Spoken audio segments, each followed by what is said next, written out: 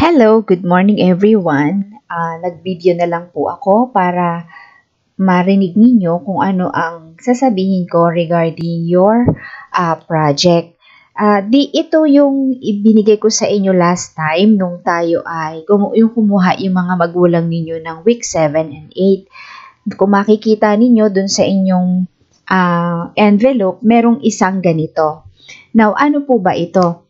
Ah, aside from your summative exam, magkakaroon din po kayo ng isang project which will serve as your pinakang, ah, since wala nga po tayong face-to-face ngayon, ito yung magsisilbi ninyong pinakang first quarter exam, a project.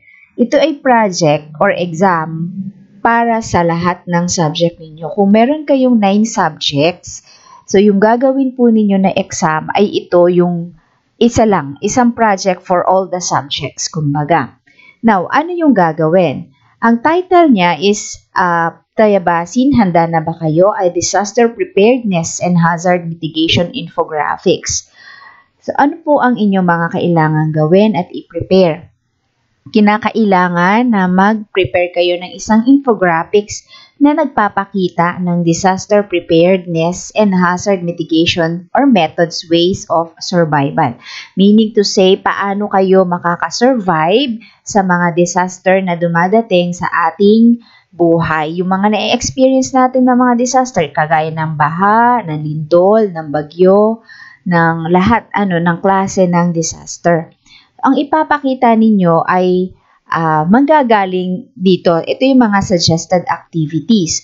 Meron tayong vlog, meron tayong short documentary film, merong social media post including captions with pictures, and poster, self-made brochure, handouts, poster slogan or comics or etc. Kung ano man yung maisip ninyo. So, ibig sabihin, pipili kayo dito ng isa sa gagawin ninyo. Halimbawa, ang nakita nakuha ninyo is slogan or poster. Ano? A poster slogan. Gagawa kayo ng isang poster slogan na ito yung parang content.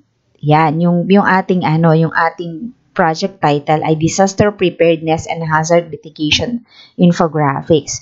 Pagkatapos, pwede nyo siyang i-post sa inyong Facebook or kung ayaw nyo siyang i-post, isasubmit ninyo yung poster slogan ninyo sa amin sa December 11 pagbigay ninyo sa amin ng inyong mga module at yung mga kulang nyo pang nasagutan.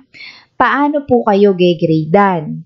Ito po, merong content, ito yung mga, para makakuha kayo ng 4, ito yung kailangan yung mas, maano, ma, uh, ma-achieve.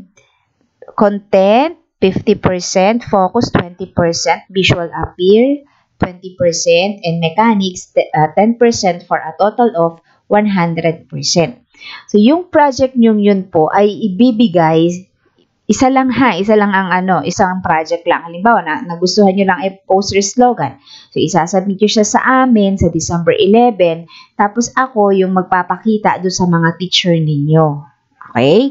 So, yun po yung gagawin ninyo kasi ito yung magsisilbi ninyong exam para sa uh, first quarter bukod pa dun sa inyong summative exam. May question po? Kung wala na, uh, pwede po kayong mag-clarify pa rin sa akin kung hindi nyo mas o kung hindi nyo naintindihan ang explanation ko. Basta isa lang po, ano, mamimili lang kayo ng isa sa mga ito na magsisilbi ninyong uh, uh, exam or project sa, bu- sa inyong lahat ng subject. So, isa lang ang pipiliin ha. Tapos, itong mga to, ito yung rubrics kung paano kayo gagradean dun sa ginawa ninyo na project na yun. So, depende ulit sa inyo kung ano yung gagawin niyo. Pwedeng vlog na may mga pictures, yan, um, makikita kayo, ipopost ninyo. O kaya short documentary film, pwedeng mag-post kayo sa social media pero ito'y may picture tapos may caption na nakapaloob pa rin dito sa Disaster Preparedness and Hazard Mitigation Infographics. Pwedeng poster, pwedeng self-made brochure, pwedeng handouts, pwedeng poster slogan, pwedeng comics, kahit alin doon o kung ano man yung maisip ninyo na papasok dito sa Disaster Preparedness and Hazard Mitigation Infographics. Okay po, so ang submission po niya ay sa December 11 kasama po ng inyong mga uh, module. Now, ganito, ma'am, paano po kapag social media post na may nakalagay na picture and caption? Ganito, ah, uh, kung yan ay ipinost ninyo sa social media, itatag nyo po kaming mga teacher ninyo. Ako, yung uh, iba't iba nyo pang klase ng teacher, ay itatag ninyo doon sa post ninyo. Kung yan po ay naipost ninyo. Ano?